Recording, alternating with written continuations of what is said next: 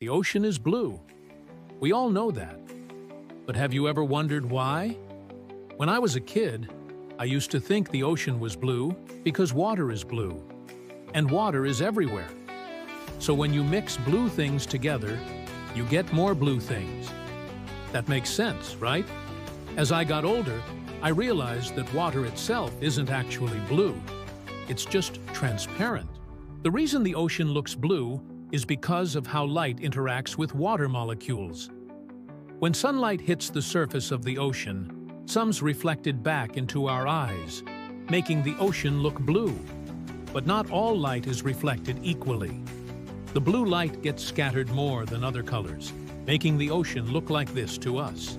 This is why, on really clear days, the ocean can look almost black. It's because there's so little light getting scattered. On the flip side, when the ocean is really shallow, it can look green because the light gets scattered so much that it starts to look like this to us.